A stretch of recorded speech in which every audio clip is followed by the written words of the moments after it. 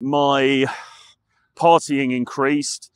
I started to do all kinds of crazy substances and all kinds of had all these kinds of um, crazy experiences and things like that. And suddenly something just flipped in my mind. Something just flipped in my mind. And suddenly I just thought, do you know what? Sod it. To hell with all of this. I am going to attempt a thought experiment. And the thought experiment is going to be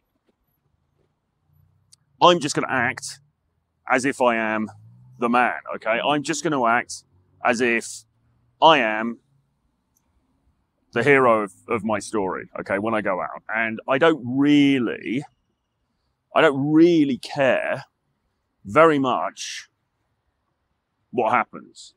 All right, I don't care really very much how people react to that. Okay, people may react well, people may react badly.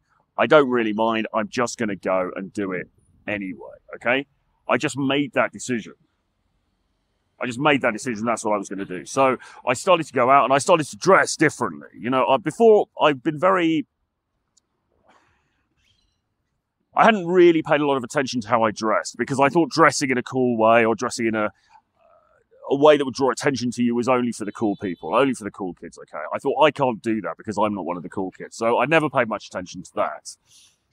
I started to dress differently. I started to dress in a more outrageous way. I started to wear things that I just thought were cool. You know, I was wearing army pants. I was wearing, I had a pink mohair jumper. I had spiky bleach blonde hair. I had crazy different shirts and things like this. I started to just wear stuff because I wanted to wear it. I mean, I wouldn't wear any of it now, don't get me wrong. But at the time, it was a statement. I was being a punky, I was being rebellious. I was sort of going against the grain. And I'd always been very self effacing and very sort of polite, or very actually very quiet anyway, generally. But if I did talk, I, I was very self effacing and very agreeable, everything in conversation. Overnight, I stopped doing that. I started to be much more confrontational. I started to say it how it was to people. Uh, and this is this is men. I'm talking about mainly here. Um, obviously, women sometimes as well. And I started instead of trying to avoid confrontation, I actually decided to relish confrontation instead, to go headlong into confrontation. And I thought probably what's going to happen is I'm just going to get beaten up.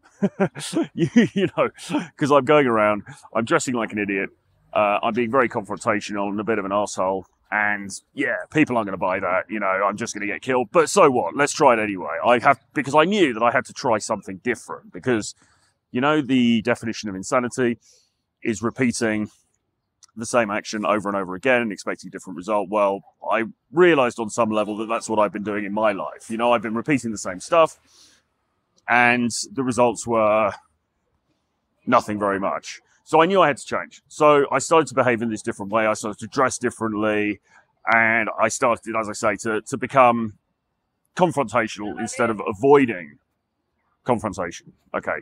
What happens? Well, a few things happened.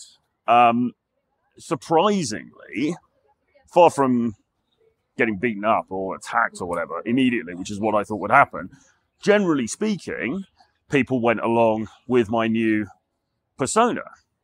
And I think the reason for that is basically because other people as well are non confrontational. Remember that thing in Fight Club where they send out the guys and they say you have to go and start a fight and they find it really difficult to start a fight because most people are avoidant of that you know understandably. Well it's the same not talking about a physical fight but it's the same in terms of being a bit spiky a bit confrontational. You think that a lot of people can react harshly to that. Actually they, they tend not to because most other people are non-confrontational as well. So that was fine and people actually found me quite sort of entertaining and quite interesting and it actually made me more popular in a way because I find I had a personality, you know, whereas before I'd hidden my personality. So there was that. Um, and the other thing that happened was that um, I started to get women interested in me, and I, I actually got my first girlfriend as a result, as a direct result of these behaviors. Because before that, I, uh, as James Tusk would say, I couldn't pull a muscle. And then as a direct result of basically having the balls to stand out a bit more, having the balls to be the hero in my, my own story, I got my first girlfriend